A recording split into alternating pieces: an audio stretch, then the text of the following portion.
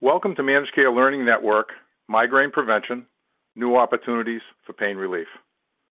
My name is Jim Kenny, founder and president of JT Kenny LLC, a consulting practice in Waltham, Massachusetts.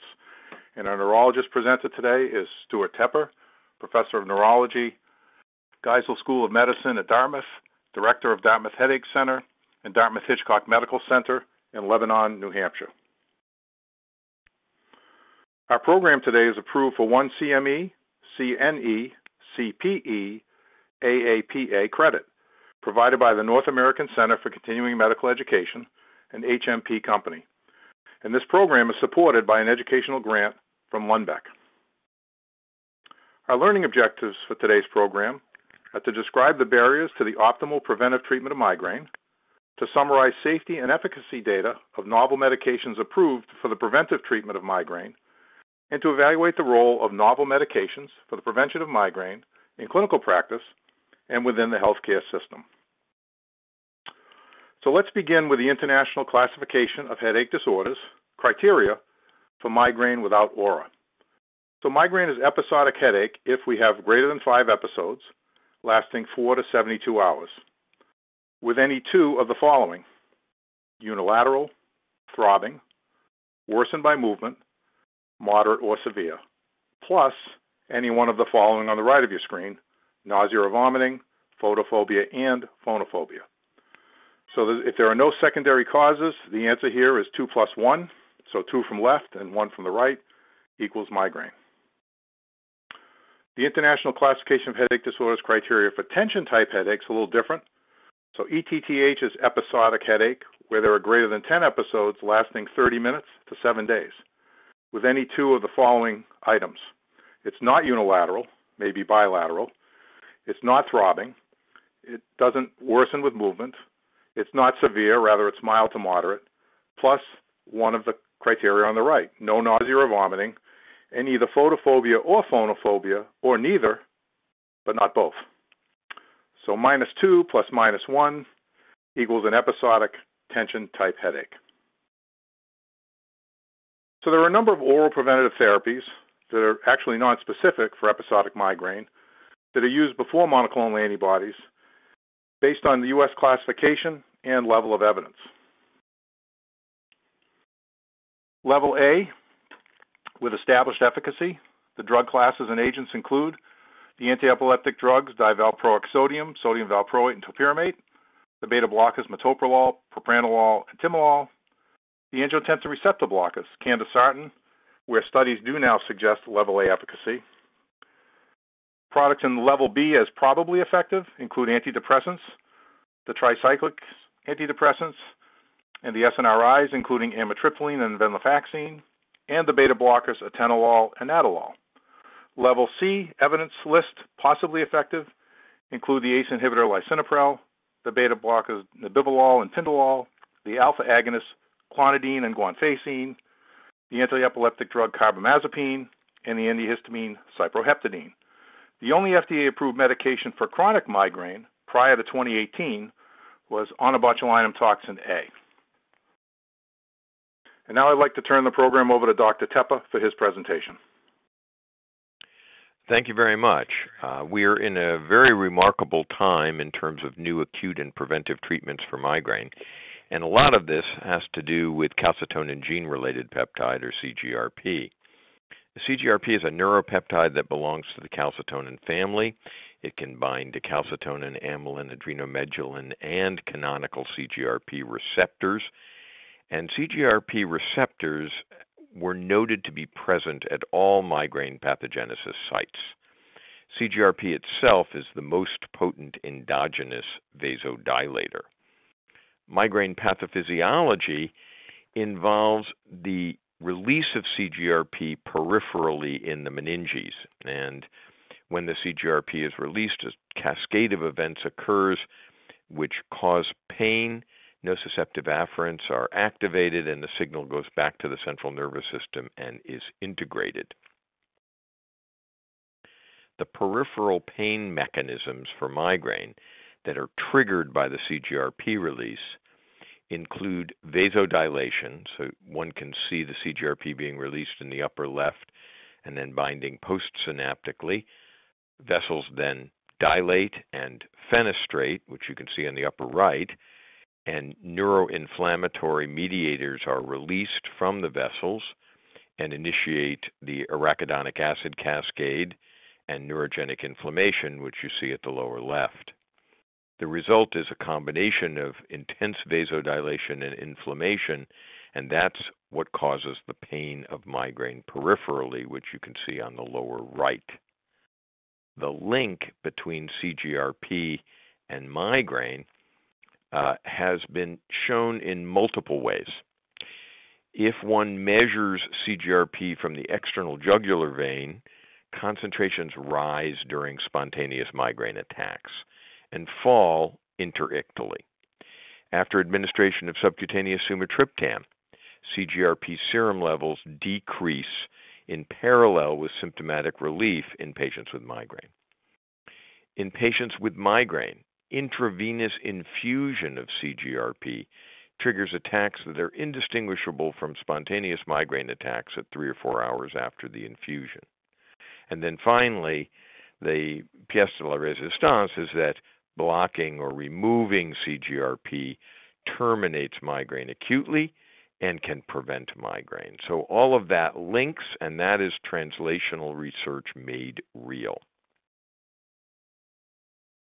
If we look at our treatments, CGRP understanding gives us some insight into how older treatments as well as newer treatments work.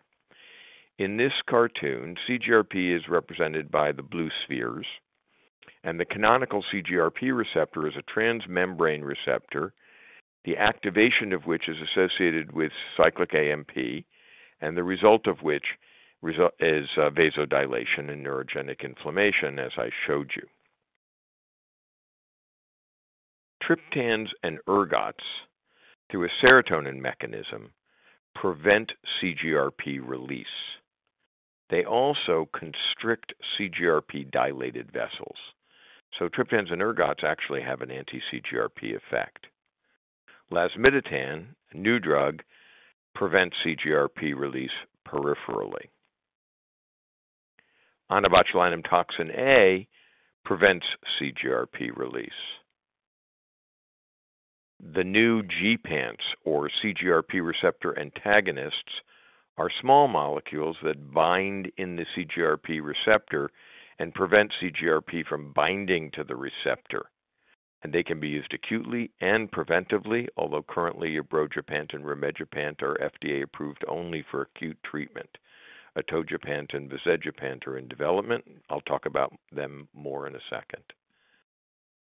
One can create an anti CGRP receptor monoclonal antibody to prevent CGRP from docking, and the one that we have is erenumab. Finally, we can create anti CGRP ligand monoclonal antibodies, fremanezumab, galcanezumab, and eptinezumab, and they bind to the circulating CGRP at the ligand and prevent the CGRP from binding to the receptors. So this is the graphic representation of what has happened in our therapies. In order to understand who gets these medications and why they seem to work across a broad spectrum, it's interesting to look at the relationship of episodic migraine and chronic migraine. Chronic migraine defined as at least 15 headache days per month with at least four hours per day. But when one evaluates patients across time in this large population based study called the CAMEO study by Richard Lipton.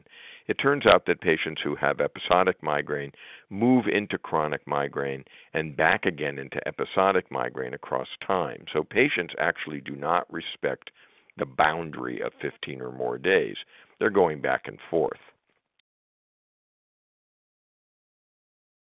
The frequency with which patients in episodic migraine move to chronic migraine, that is, transform, is about 2.5% in episodic migraine patients across time, as studied in another very large population based study by Lipton and colleagues called the American Migraine Prevalence and Prevention Study. And our role as providers is to see if we can prevent transformation from episodic migraine to chronic migraine in our patients and prevent transfer, uh, transformation to medication overuse as well. We also have an obligation to take chronic migraine patients who may be overusing acute medications and move them back to episodic migraine.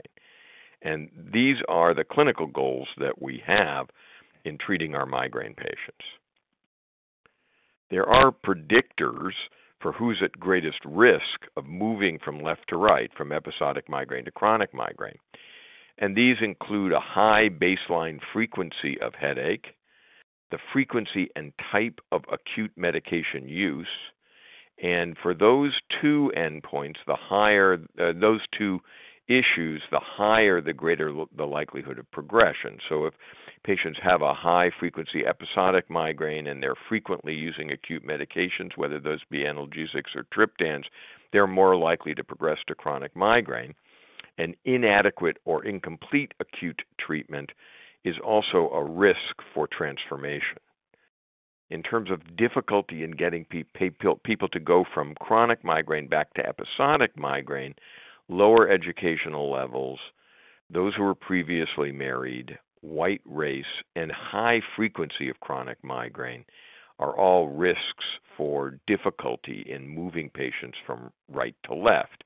And allodynia a marker of central sensitization in which non painful stimuli are painful, is another risk for failure to remit from chronic migraine to episodic migraine in the AMP study. This just gives you a feel for who you're going to concentrate on as you attempt to treat patients at both ends of the spectrum.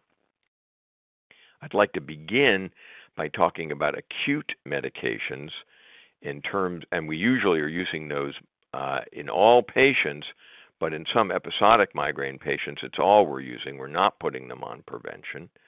And it turns out that if one evaluates how well an acute treatment works, what you're after is a one and done sustained pain free response. The effectiveness of acute treatment can be measured with a four item questionnaire, the Migraine Treatment Optimization Questionnaire, or MTOQ 4 and again, in the uh, AMP study, Lipton evaluated over 5,600 patients who had episodic migraine in 2006 and found that about 3% progressed to chronic migraine in 2007. He then looked at what the response was of those patients to their acute treatment by measuring them with MTOQ. And it turned out that if the patients had maximum acute treatment efficacy, one and done, sustained pain free response, less than 2% of them developed chronic migraine, while those who had very poor acute treatment efficacy had more than twice the risk of new onset of chronic migraine. Almost 7% of them transformed to chronic migraine. Inadequate acute treatment efficacy was associated with an increased risk of new onset chronic migraine over the course of a year. And the hope is that optimal acute treatment might prevent migraine progression, and that was, is one of our goals to keep people from going from left to right. For that reason, I'd like to talk a little bit about the new acute treatments that have become available for our patients. One of them is lasmiditan. The way lasmiditan works is that it has both peripheral and central effects. Peripherally, it prevents CGRP release. Centrally, it activates serotonin 1F receptors that prevent the integration of migraine and terminate migraine by not allowing it to be processed centrally. The serotonin 1F receptors do not vasoconstrict. So lasmiditan lacks vasoconstrictive activity and is appropriate for patients with vascular disease, unlike triptans, which do vasoconstrict. Two hour pain freedom with lasmiditan is about a third of patients. There are three doses approved 50, 100, and 200 milligrams, although only two doses are uh, actually approved at 50 and 100. So for patients to take 200, they have to take two of the 100s. Because lasmiditan penetrates the brain and interferes with migraine processing centrally, it has central adverse events, generally mild to moderate, generally dizziness and somnolence. So patients have to be warned to expect these generally mild symptoms. And patients are advised not to drive for eight hours after dosing, even if they don't even appreciate that they have any central nervous system adverse events. Because of the central penetration, lasmiditan is a controlled substance class 5, the same as pregabalin. The next group of approved medications for acute treatment of migraine that are new are the gepants. The gepants are small molecule CGRP receptor antagonists, and remember from the figure, they block the CGRP receptor and prevent CGRP from binding. Seven of them have been tested for acute migraine treatment. Early gepants were liver toxic, but the newer gepants do not appear to be liver toxic. Ubrogepant and rimegepant uh, were uh, approved this year and late last year and are now available for acute migraine treatment. Two hour pain freedom for both of them is about 20%, as it is for vazegepant, which is in development and is a nasal gepant, where phase 2 data have shown efficacy. The way these work is they prevent the CGRP from binding, they prevent the CGRP from causing the vasodilation, so they do not cause blood vessels to constrict and unlike triptans, they should be safe in people with vascular disease. I'll give you some more data on the gepants. Here are um, two phase three trials for ubrogepant, looking at the primary endpoint that the FDA mandates, which is the likelihood of two hour pain freedom post dose. And you can see the 20% range for 50 and 100 milligrams of ubrogepant. Both also achieve the other FDA mandated co primary endpoint of the relief of most bothersome symptom, which the patient chooses from photophobia, phonophobia, or nausea, and that has to be gone at two hours versus placebo as well. The efficacy of ubrogepant and the efficacy of rimegepant look identical. And it doesn't matter whether one is looking at rimegepant tablets or rimegepant orally dissolvable tablets still at about 20% pain free at two hours. So there's not a lot of difference between ubrogepant and rimegepant from an efficacy standpoint. Ubrogepant is only available in tablets. Rimegepant is only available as an orally dissolvable tablet. Both are extremely well tolerated and have good safety um, outcomes. No cardiovascular or liver safety concerns have been identified with any of them. Liver safety was evaluated rather extensively and intensively with both because of the previous problems with the earlier gepants and repetitive uh, exposures have not revealed any significant liver toxicity for ubrogepant or rimegepant. Here are the rimegepant adverse events from um, randomized controlled trials you can see that nausea occurs anywhere from 0.7 to 2% over placebo. Um, some people will report dizziness, but it was only in 1% of patients and 1% of placebo exposed patients. And the really strong uh, aspect to tell patients when they're taking gepants is to take them early because they take a little while to work and to not expect side effects. They almost never cause any tolerability side effects. And remember, the gepants prevent the vasodilation but do not cause vasoconstriction, so both gepants and lasmiditan are appropriate for patients with known vascular disease, which gets us to who should receive the new acute treatments.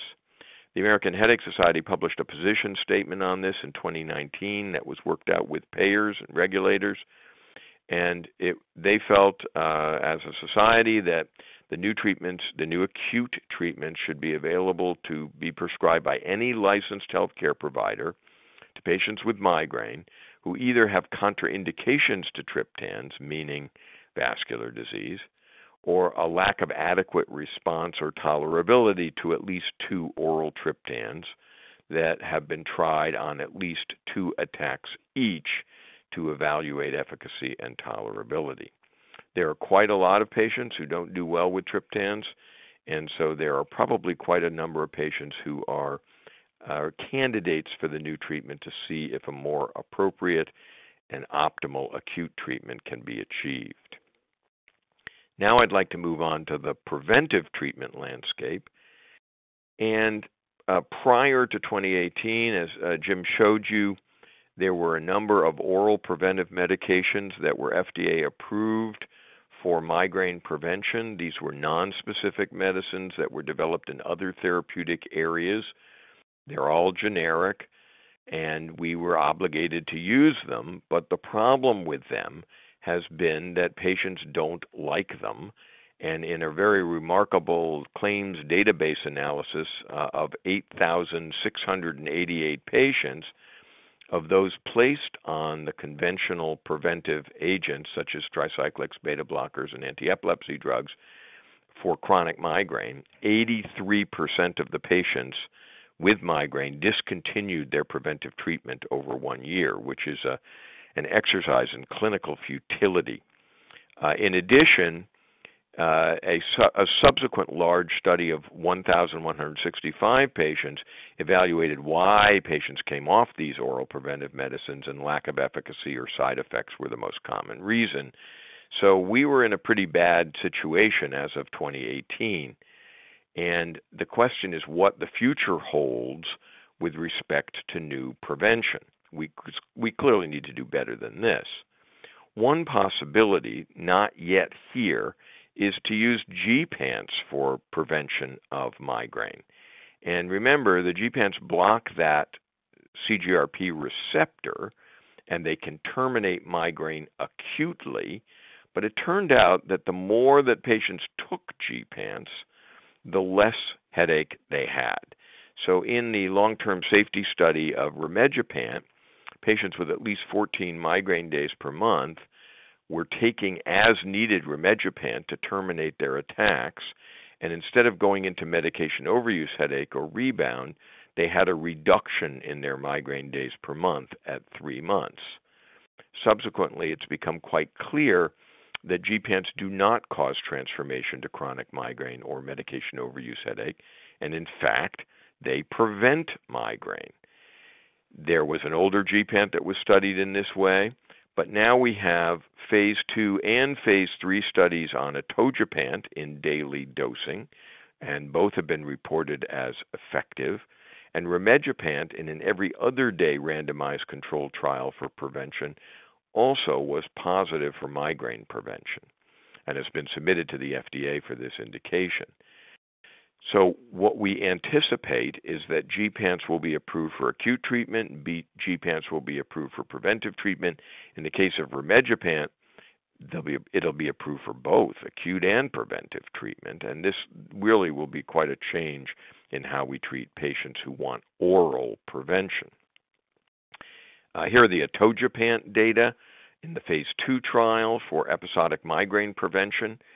The average number of migraine days in episodic migraine studies is about six to eight, in this case, about seven and a half days per month of migraine.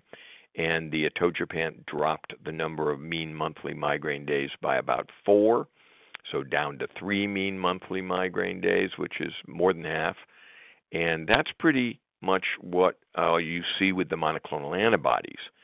So I would anticipate that gepants and monoclonal antibodies will share opportunity for helping patients with both episodic and chronic migraine. Let's move on to the monoclonal antibodies. They were developed because of the early gepant liver toxicity, and they are removed by the reticuloendothelial system, so there's no liver toxicity with them. They are large molecules that do not pass into the brain for the most part.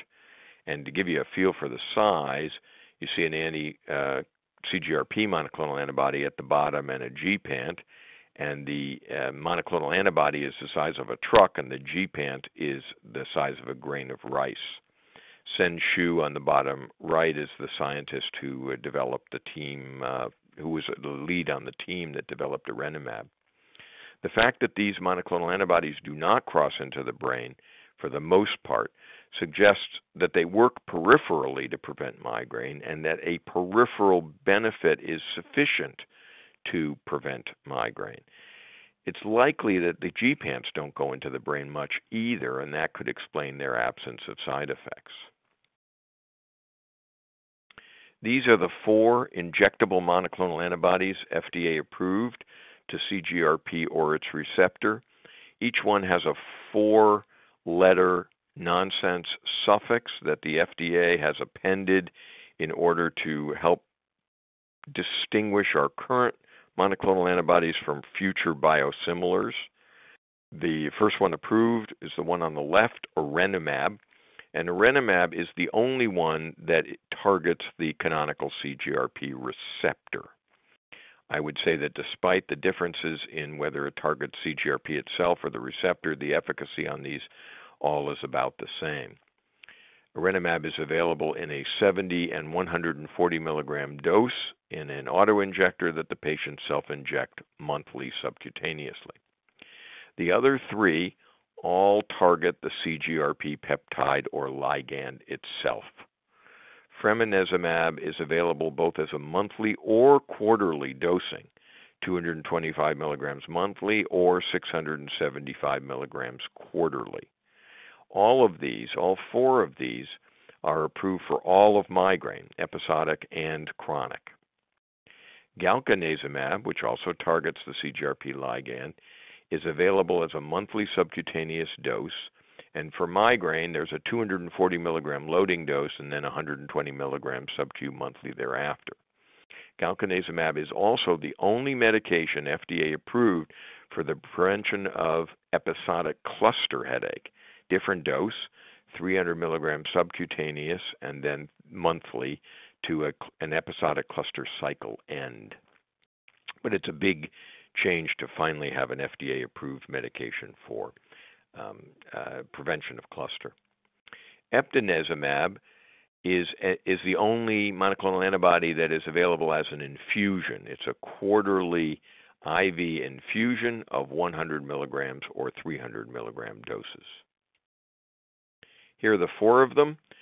Erenumab on the upper left, is the one that's against the receptor, and so you can see the antibody binding to the CGRP receptor. The other three bind to the CGRP itself, the little blue sphere, and you can see fremanezumab on the bottom left binding to the CGRP. And remember that fremanezumab is the one that's available subcutaneous monthly or quarterly. Galcanezumab up in the upper right binds to the CGRP and is the only one that is approved for both migraine and prevention of episodic cluster headache. Different doses, subcutaneous monthly only. And then finally, eptinezumab bottom right, an antibody against the CGRP ligand, but is the only one that's available intravenous and quarterly. There are three major questions on the monoclonal antibodies. Are they safe? Are they different than what we had? And are they an improvement? Always start with safety. The most common side effect with them was injection site reaction for the three that are subcutaneous injections. Um, constipation has been described with all three. There is a warning in the U.S. prescribing information on constipation with Erenumab in particular. Liver abnormalities have not been seen. Some patients develop the sniffles with them, uh, but so far not with every product and not always in excess of placebo. There's a new warning in the U.S. Erenumab prescribing information for uh, elevation of blood pressure, not severe, but enough to warrant monitoring blood pressure for all of these, I believe. And then the question has been whether losing CGRP or its receptor might result in loss of compensatory vasodilation in the setting of angina or um, a TIA. And we want to make sure that patients can vasodilate. I'm going to talk about that in a second. And I would finally add that all four of them have a risk for an allergic reaction, including angioedema, although this turns out to be quite rare. So, this question about cardiovascular safety for these is whether if you take out CGRP, which is such a potent vasodilator, whether you're putting people at risk when they have angina or um, cerebrovascular disease. This was a remarkable study published in 2018 in which uh, 88 patients with angina at least monthly and documented coronary artery disease were uh, asked to do two treadmills, and each of the treadmills they had to precipitate angina as measured on a cardiogram, and the treadmills had to be identical. Then on a third treadmill, they were either given intravenous erenumab, and remember, erenumab is a subcutaneous drug as we use it, or placebo prior to their third treadmill. The intravenous erenumab was felt to take out the CGRP biology instantaneously. And on the third treadmill, there was no difference in the length of the treadmill and the magnitude of the EKG changes or the angina no infarctions, no evidence for failure of compensatory vasodilation mechanisms. And it's felt that this probably shows that vasodilation is a redundant system with multiple uh, mediators for vasodilation, and taking out one, CGRP, is insufficient to put people at risk. There have been no vascular signals in three to five year data for all three, but as with any new class of medications, clinical vigilance remains important. Still, this is a very reassuring study. What about efficacy? Well, all three of them drop the mean monthly migraine days pretty much at the same level, and all three work similarly to what I showed you for atogepant. So, for episodic migraine, if a patient has about seven mean monthly migraine days at the onset, these drugs drop the likelihood of migraine down to about three migraine days per month, which is a pretty significant drop for an episodic migraine patient with significant disability. In the chronic migraine studies, the same primary endpoint of reduction in mean monthly migraine days, and again, a drop of four to six mean monthly migraine days at three months compared to placebo. Uh, and from baseline, the um, difference here, of course, is that patients with chronic migraine in these studies had 16 to 18 migraine days per month. So a drop of six migraine days per month is still pretty significant uh, for a patient with chronic migraine. And the approval is for all of these uh, monoclonal antibodies for both episodic and chronic. But are they an improvement on what we have now? I'm going to come back to this in, in a repetitive manner and show you different ways of evaluating that. But one way is to look at the 75% drop in mean monthly migraine days, or greater than that. And between 41 and 54% of patients in these studies had at least a 75% drop in mean monthly migraine days by one year.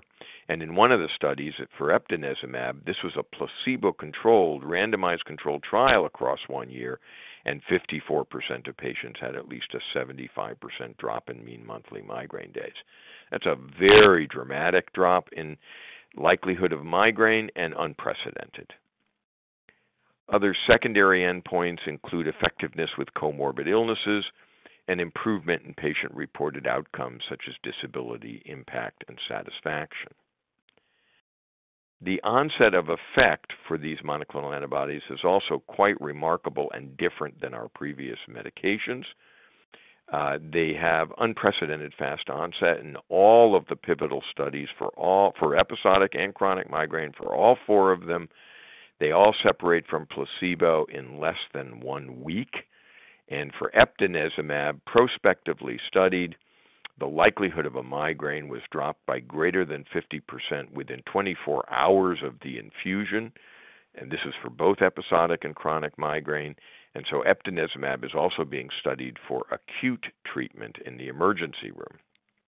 Fremanezumab also showed reduced likelihood of migraine associated features, nausea, photophobia, phonophobia, in less than a week. So although a lot of patients need to remain on these for four to eight months to see full effectiveness, and effectiveness improves across time, some patients have very dramatic effects very early.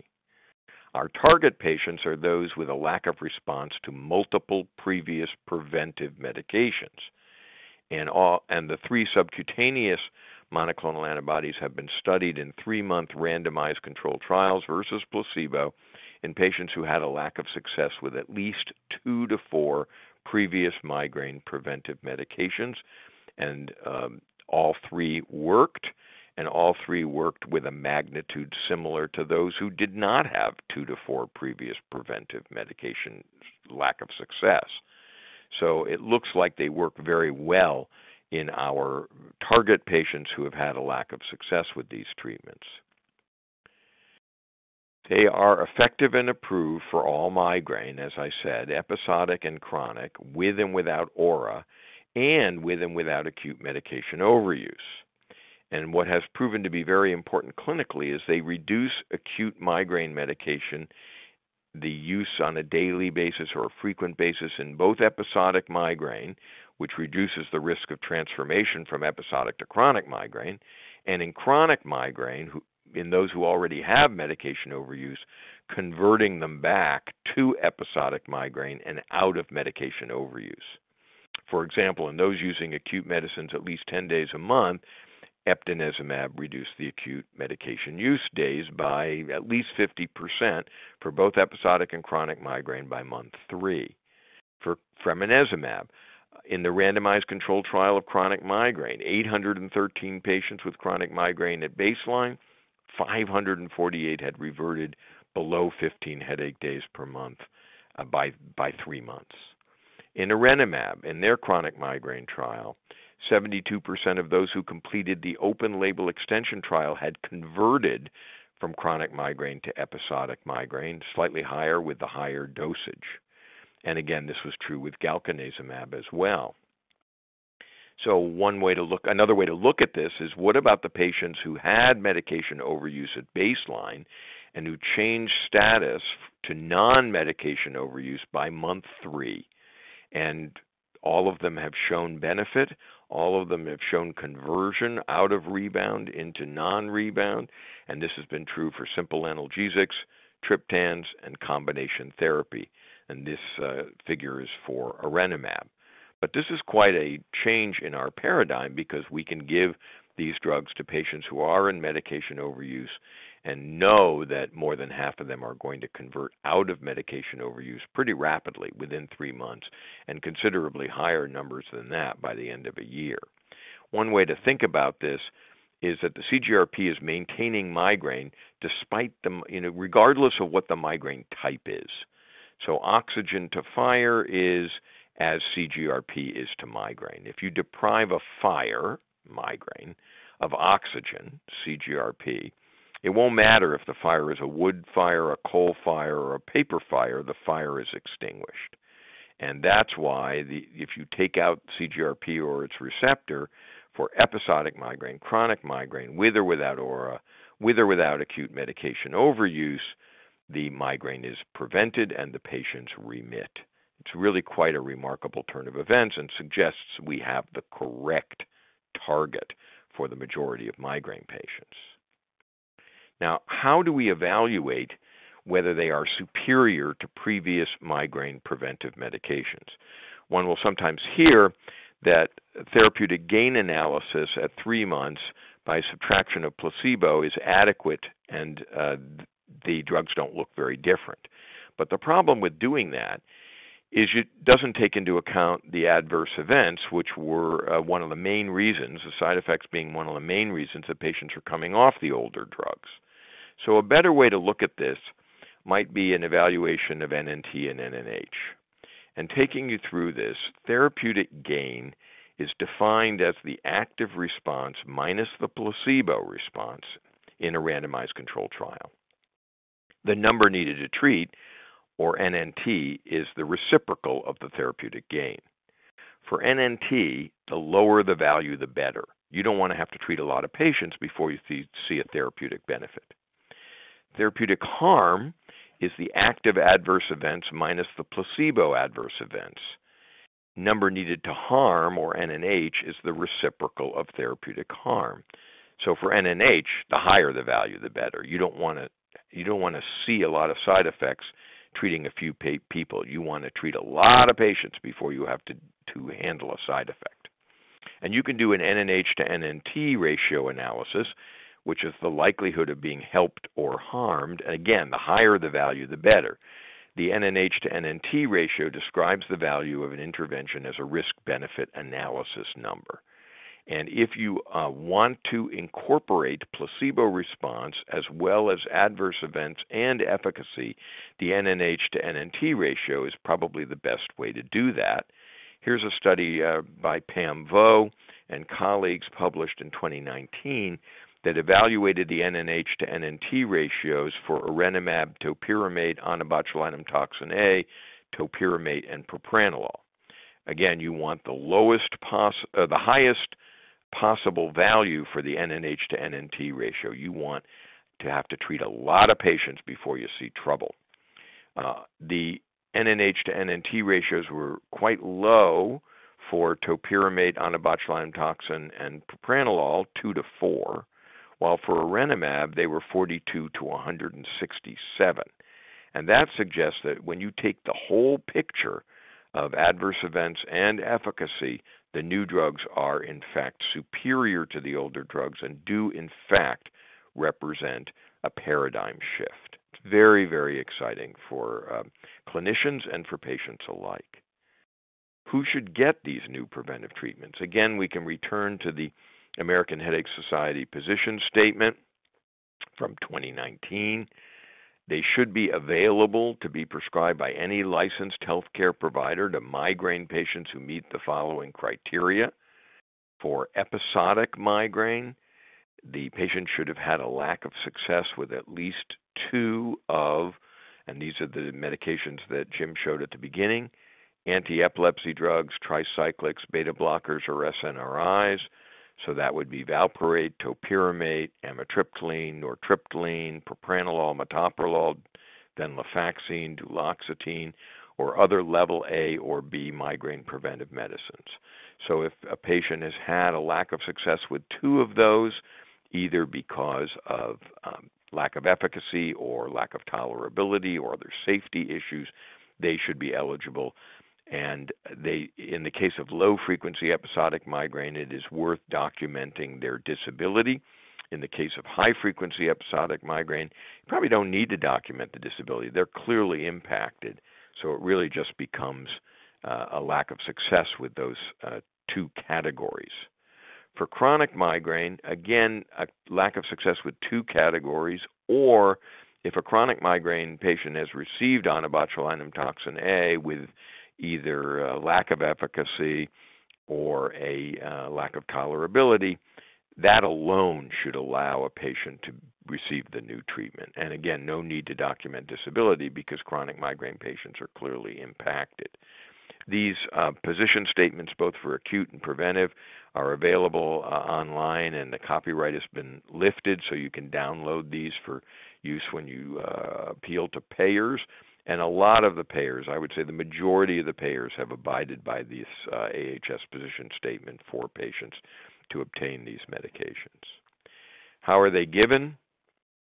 Erenumab and galcanezumab self-inject monthly.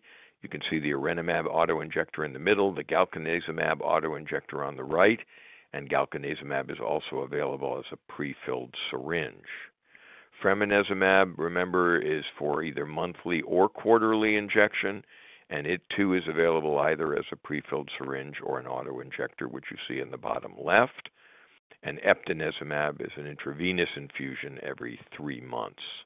So this is just to give you the practical way that you would be advising patients in terms of use. Remember that the side effects are so low that most patients do very, very, very well with these.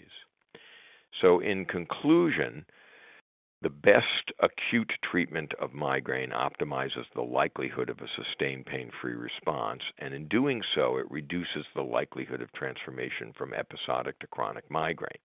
Paying attention to what patients experience with an acute treatment, making sure that they're pain free at two hours and not just having relief, making sure that they don't have adverse events that would prevent them from using the acute treatment or recurrence of the headache, paying attention to optimization of acute treatment can be very helpful in keeping patients in episodic migraine from progressing to chronic migraine.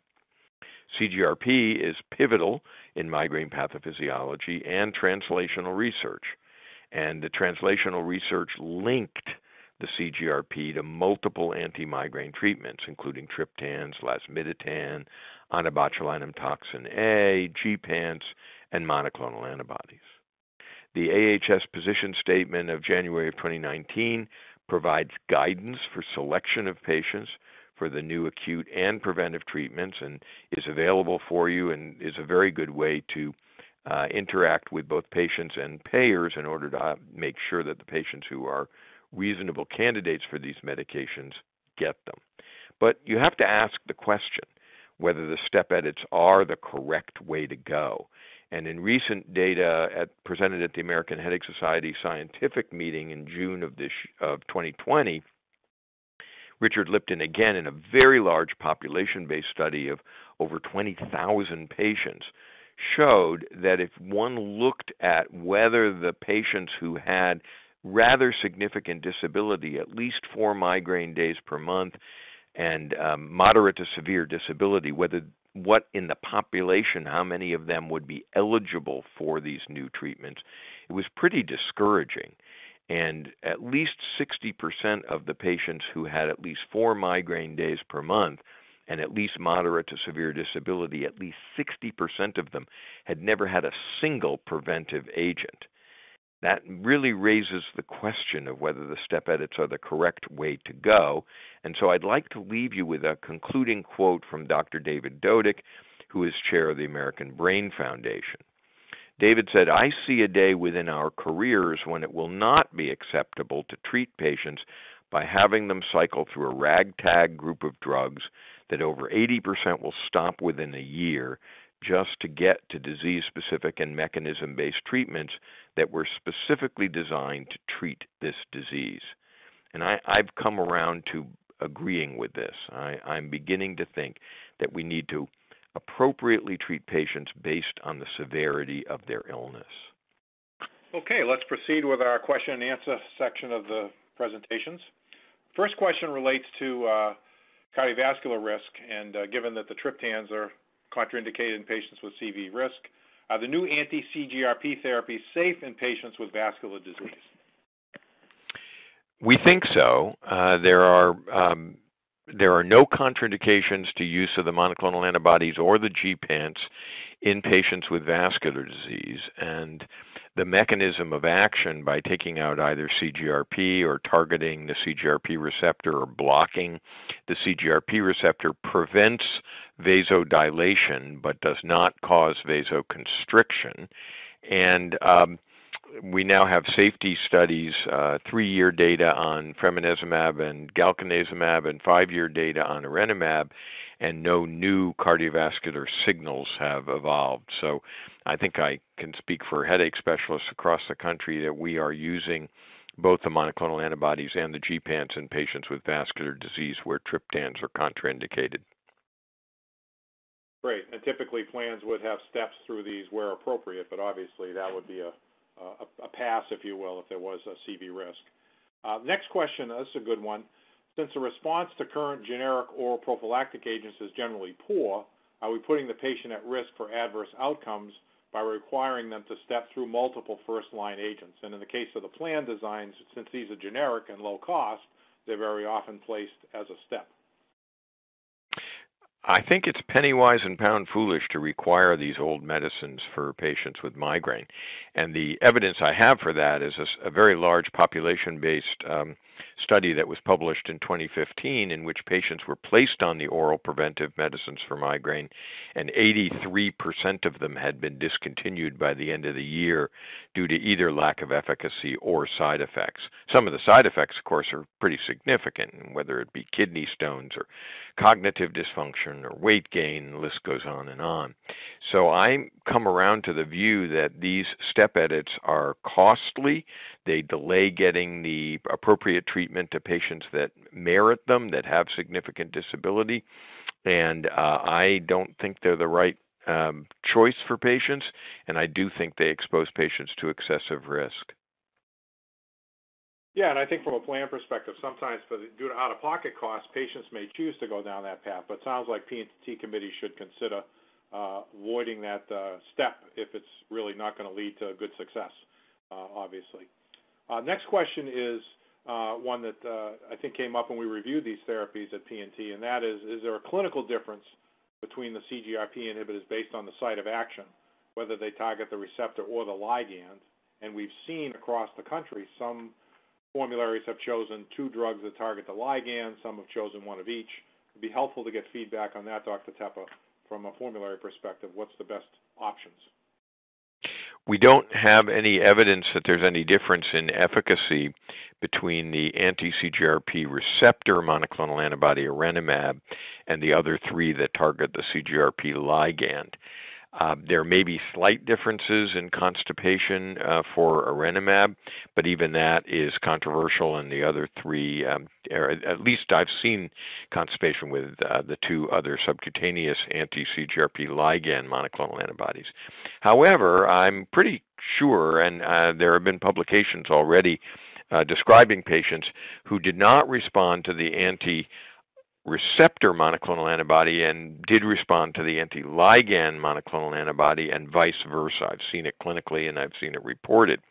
And my own preference for payers would be that they should include at least one uh, anti-ligand monoclonal antibody and and the anti-CGRP receptor monoclonal antibody so that we can move patients if they don't respond to one or the other. This is based on the slight differences in mechanisms, even though you would think they would uh, be the same, they don't appear to be for everyone. Oh, very interesting answer. So something that should be considered by the formulary committees when they choose their options in this space. Uh, I'm going to combine the next two questions. One is, uh, would triptans be more useful than gepants for acute therapy of migraines? And then just a question in terms of how long it takes each of those two groups of products to exert their effects.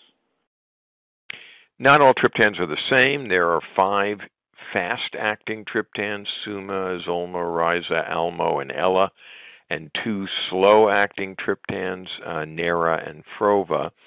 The fast-acting triptans do uh, result in higher percentages of patients pain-free at two hours when compared to. gepants um, almost all have about a 20% pain-free likelihood at two hours, and that is lower than the fast-acting triptans.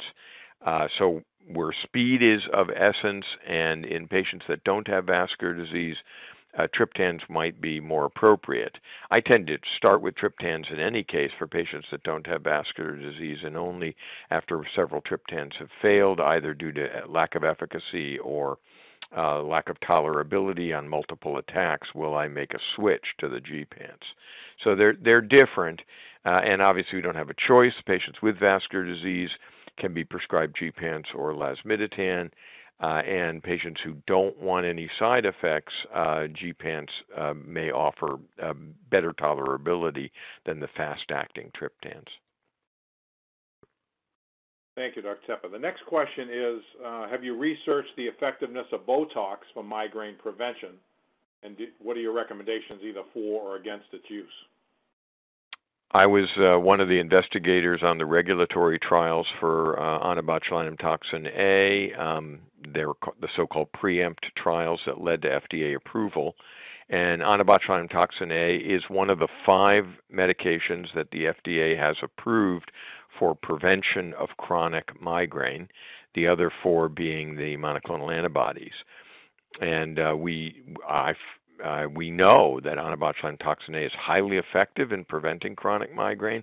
We don't have a comparator trial comparing Onabot with the monoclonal antibodies, but I think they are of comparable effectiveness in chronic migraine. The monoclonal antibodies are also approved for episodic migraine, and Onabot is not approved for episodic migraine.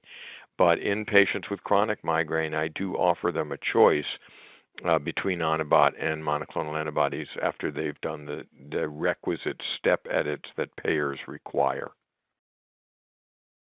Thank you.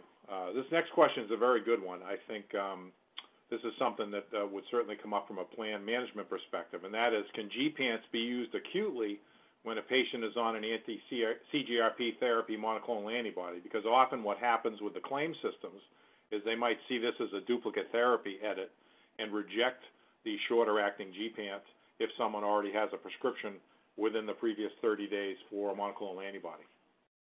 A really important question. I agree. We now have multiple case series of patients uh, both published and presented at meetings as abstracts, showing that gepants do work very well in patients who are on monoclonal antibody, and one recent study showing safety for patients using gepants on monoclonal antibodies. So, just to to point it out, the monoclonals are used for the prevention, and the gepants are used for the acute treatment. And the reason that they work is that the monoclonals don't take out 100% of all of the CGRP or the CGRP receptors. They leave 10 or 20% of the CGRP or the receptors um, available, and mischief can occur when CGRP binds to the CGRP receptor, and the patient gets a migraine on, even though they're on monoclonal antibodies. They get the occasional migraine breakthrough, and if the monoclonal antibodies are working, it probably predicts that the gepant is going to work to terminate an attack during uh, the breakthroughs. So I think it's a mistake on the part of payers to not cover, especially for patients with vascular disease. And I suspect that it's going to be resolved in the next year, and payers are going to recognize that they need to cover gepants for patients on monoclonal antibodies. Great, thank you very much. And that clearly is a challenge because the plans do apply that duplicate therapy logic routinely. And if it doesn't make sense, obviously you want patients to have access to appropriate treatment options. So thank you for that. That's very interesting. So that concludes our questions for today. I just want to remind you that you will be redirected back to the landing page to complete the post-test and evaluation, and then you can download and print your certificate for CE credit. And I want to thank Dr. Tepper and, and thank all of you for attending and wish everyone a great day. Thank you very much. Thank you. Have a good day.